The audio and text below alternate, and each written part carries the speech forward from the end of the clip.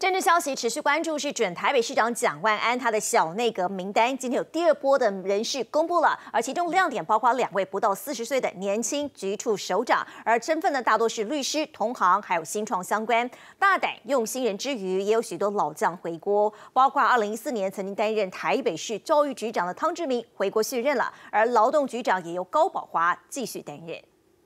那欢迎市长的当选人蒋万安先生率团前来台北市政府。准台北市长蒋万安交接工作马不停蹄，第二波人事布局也在十四号发布，着重年轻创新。这次的三大特点包括了民间的人士，还有年轻，而且还有创意。摊开第二波人士来看，以宪兵少将指挥官李志安出任兵役局长，而东吴大学资源长姚淑文担任社会局长，还有曾任桃园市府消防局副局长的莫怀祖担任消防局长。另外两位七年级生成为这波人事亮点，包括法务局长连汤凯、资讯局长赵世龙，都是未满四十岁的年轻人。市长其实是他刚刚从美国回来的时候，那时候还是呃在当律师的时候，我我我其实就认识他了。第一次做生物官，我想我其实还是保持一个呃。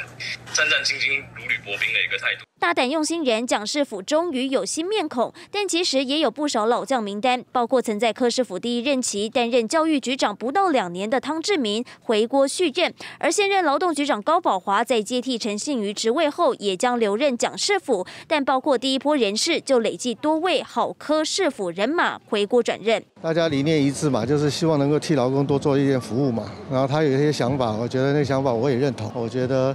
有这样的一个市长愿意为劳工服务，我觉得也是一可以尽一点一己之力啊。很多学校校舍也比较老旧哈，那将来都有一些改进的需要。他对教育呢也非常关心，是让我们蛮感动也蛮佩服的啦。就与新知进入首都市府，剩下不到十位局处首长名单，蒋师傅就职倒数计时，这锅饭能否香甜端出，考验蒋万安智慧。记者苏志杰、林汉庭采访报道。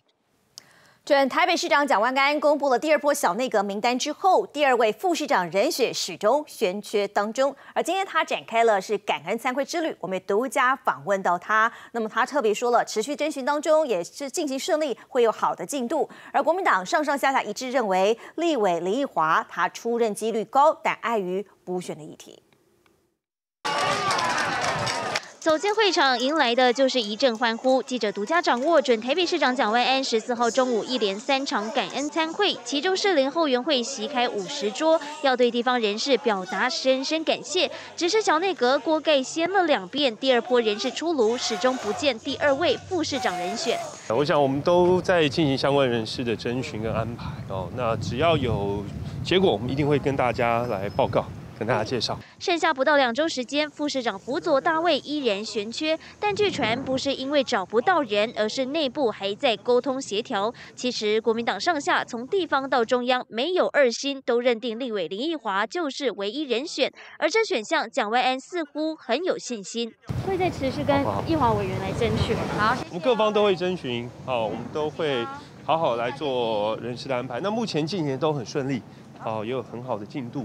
那我们都会在适当时期来跟大家报告。所谓好的进度，指的是不是林奕华呢？其实变数并不大，只是有了蒋万安选前请辞立委，没有向党中央知会的前车之鉴。蒋团队这次和党中央充分沟通，毕竟当前还有台北和南投两场立委补选，实在经不起在一场地方选战。也因此，林奕华二月份辞立委再就职，似乎已成党内共识。台北市小内阁的规划都尊重蒋万安市长的安排与宣布，党中央会视情况来做最好的安排。现在就是以做交接的这个小组窗口的一个成员。那至于讲说在十二月二十五号之前，当然呃万安市长他也持续的来做这些征询延揽，希望都能够到位。蒋万安新科市长即将上任，但第二位副市长持续空缺，坚持闷饭闷到最后一刻，难免让人捏把冷汗。记者苏志杰、林汉庭采访报道。